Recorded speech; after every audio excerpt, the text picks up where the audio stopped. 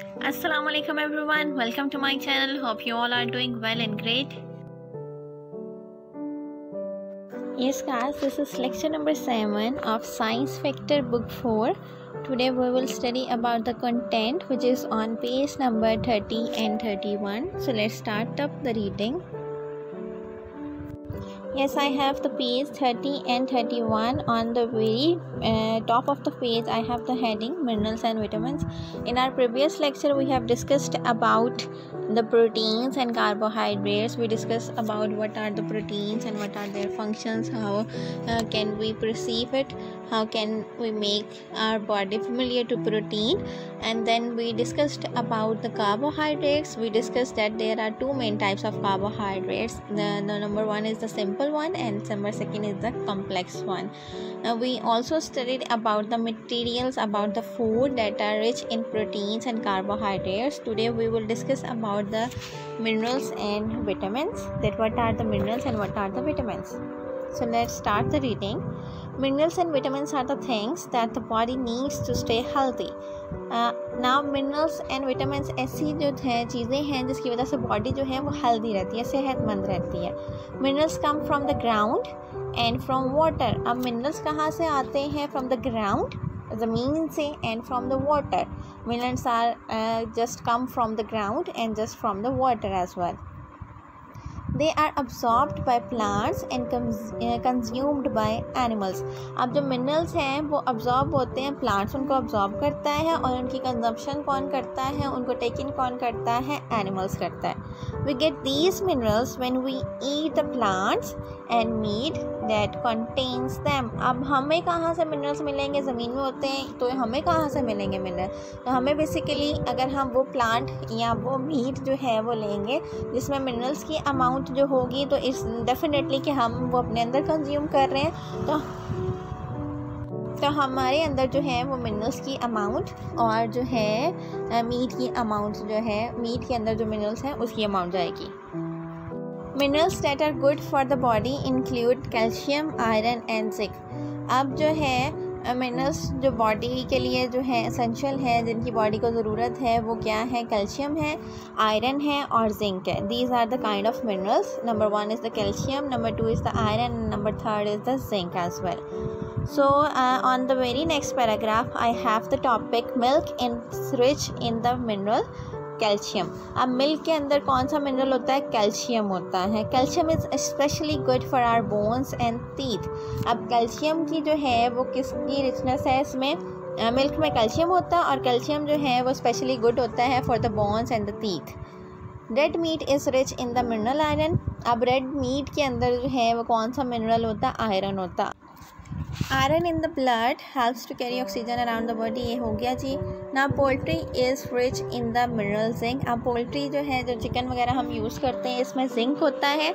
Zinc is good for your immune system immune system basically defence system को बोलते हैं। हमारी बॉडी में डिफेंस सिस्टम जो होता है, उसको इम्यून सिस्टम बोलते हैं। इसका ये मतलब है कि अगर हमें कोई बाउंड लग जाता है, कोई कट लग जाता है, वो ऑटोमेटिकली ठीक हो जाता है। क्योंकि हमारी बॉडी में अल्लाह ताला ने इस तरह की एफिशिएंसी रखी हुई है कि हमारी बॉडी जो है, उसके अकॉर्डिंग जो है उसके अगेंस्ट जो है वो खुद से वर्किंग करना स्टार्ट कर देती है, अगर इन केस हमें कोई बाउंड लग गया है। तो ये सारा सिस्टम जो है हेल्प करता है about the defence system defence में बॉडी की जो है कोई भी अगर ज़ख्म लग गया है तो उसमें डिफेंस सिस्टम ये काम करता है, जिसको हम इम्यून सिस्टम बोलते हैं। और इम्यून सिस्टम को जो स्ट्रेंथ प्रोवाइड करता है, वो एक मिनरल है, जिसका नाम है जी जिंक। अब जिंक कहाँ से मिल रहा है? हमें पोल्ट्री से मिल रहा है, ठीक है?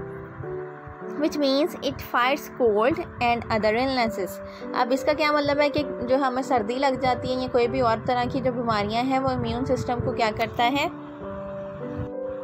स्ट्रेंथ प्रोवाइड करता है, ताकत देता है इम्यून सिस्टम को। Now I have the next paragraph vitamin are made by plants and animals included minerals are made by plants and animals including by humans अब जो विटामिन हैं, वो बेसिकली क्या हो रही हैं, हमारे पास प्लांट्स और एनिमल्स से मिल रहे हैं, ठीक है? Plants create all the vitamin they need to survive but animals need to eat plants and other animals to get all the vitamin they need अब जो प्लांट्स हैं, वो अपना जो है विटामिन जो हैं, वो कहाँ से लेते हैं? बाइट सेल्फ प्लांट्स के अंदर इतनी कैपेसिटी होती है कि वो अपने लिए विटामिन जो हैं जनरेट कर सकते हैं। लेकिन जो एनिमल्स हैं like human beings and other animals उनके पास इतनी कैपेसिटी नहीं होती, या इतनी एफिशिएंसी नहीं होती कि वो अपने मिनरल्स जो हैं, वो खुद ब खुद जनरेट करें।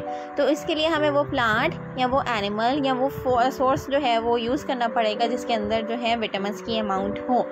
ठीक है? तो प्लांट्स और एनिमल प्लांट्स खाने पड़ेंगे या एनिमल्स खाने पड़ेंगे जिसके अंदर विटामिन की अमाउंट होगी। Vitamin E is good for your skin and helps fight against disease carrots are rich in vitamin E अब विटामिन ई बेसिकली जो है हमारी स्किन के लिए बहुत अच्छा होता है और ये फाइट करता है against the disease skin disease के अगेंस्ट ये फाइट करता है.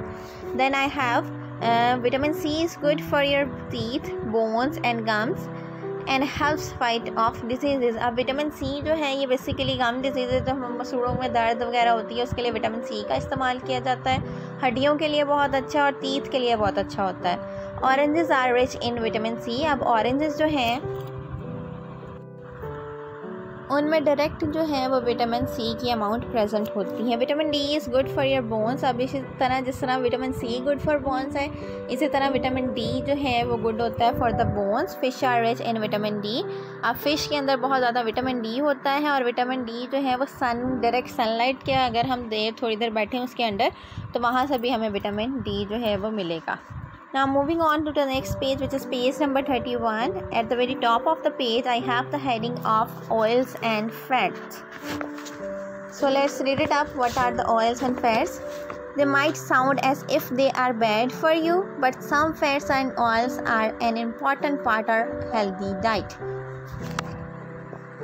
अच्छा जी, जब हम ऑयल्स और फैट्स की बात करते हैं तो ये हमें साउंड गुड नहीं लगता कि जिस तरह ऑयल जो है या चिकना चिकना फीलिंग आती है या जो फैट्स हैं, वो मोटापे की तरह फीलिंग आती है तो ये हमें ओबीस लगता है या अच्छा नहीं लगता या सुस्त टाइप की चीज़ लगती है। लेकिन जी, कुछ फैट्स और कुछ ऑयल जो है, वो इम्पोर्टेंट होते हैं हमारी बॉडी के लिए for the healthy diet as well fats and oils are very similar in fact oils are the liquid form of fats अब फैट्स और ऑयल जो है, वो दोनों सेम काइंड की थिंग्स हैं, लेकिन जो है बेसिकली हमारे पास ऑयल्स होते हैं, वो liquid form of the fats होते हैं। जिस तरह अगर आपने ऑयल की बात किया तो उसमें भी फैट होता है लेकिन वो लिक्विड फॉर्म में होगा, ठीक है? The right sort of fats and oils are good for your nervous system. अगर आप फैट और जो है, ऑयल का सही यूज़ कर रहे हो तो ये हमारे नर्वस सिस्टम के लिए बहुत अच्छा थिंकिंग सिस्टम के लिए बहुत अच्छे होते हैं, including your brain. They are also good for the skin protect vital organs and control your body temperature हमारे बॉडी के जो ऑर्गन्स होते हैं लाइक स्टमक है, या जो है डाइजेस्टिव सिस्टम ये सारी वर्किंग जो है, ये डिफरेंट ऑर्गन्स की जो वर्किंग है, वो बड़ी इससे स्ट्रॉन्ग हो जाती है। अगर हम सही अमाउंट में ले रहे हैं, अब ये नहीं करना कि फ़ैट की अमाउंट या ऑयल की अमाउंट जो है, वो बहुत ज़्यादा लेनी कंजम्पशन उसका बहुत ज़्यादा स्टार्ट कर दें। दे विल बी हार्मफुल अगर हम जो है इसकी कंजम्पशन जो है ऑयल की या फ़ैट की या से फ़ूड की कंजम्पशन करें जिसमें बहुत ज़्यादा ऑयल या फ़ैट होगा, वो फिर नुकसानदेह वाली चीज़ हो जाएगी। And control your body temperature अब ऑयल जो है और फैट्स जो हैं, ये हमारी बॉडी टेम्परेचर को भी कंट्रोल करते हैं। Fats and oils are that are good for you include fish fish का ऑयल जो है नट्स से जो ऑयल निकलता है, या सनफ्लावर कैनाला ऑयल या olive oil peanut sesame and soybeans oil ये सारे ऑयल जो होते हैं हमारी बॉडी के लिए बड़े अच्छे होते हैं। Some fats are harmful if you eat too much of them अब कुछ फैट्स ऐसे होते हैं, अगर आपने बहुत ज़्यादा उनकी कंजप्शन कर ली है, बहुत ज़्यादा फैट्स खाना शुरू कर दिए ऑल द टाइम आप जो है चिप्स खा रहे हो, जो बनी हुई है डायरेक्ट ऑयल के अंदर तो वो जो है हमारी बॉडी के लिए वो हार्मफुल हो जाएगी। So avoid too many pies doughnuts and too much fast food अब अगर आपने जो है इस तरह की चीज़ें यूज़ करना स्टार्ट कर दी हैं जिसमें बहुत ज़्यादा फैट्स हैं। तो ये क्या होगा, ये हमारी बॉडी के लिए हार्मफुल होंगे और फिर हमारी बॉडी जो है फैट कंज्यूम करना स्टार्ट हो जाएगी। अब बेसिकली ऐसा होता है कि हमारी स्किन जो है seven layers of the skin होती है और जो हमारी फ़र्स्ट लेयर स्किन की होती है, उसके नीचे जो है फ़ैट जमना शुरू हो जाता है। फ़ैट की अमाउंट वहाँ पर स्टोर आना शुरू हो जाती है।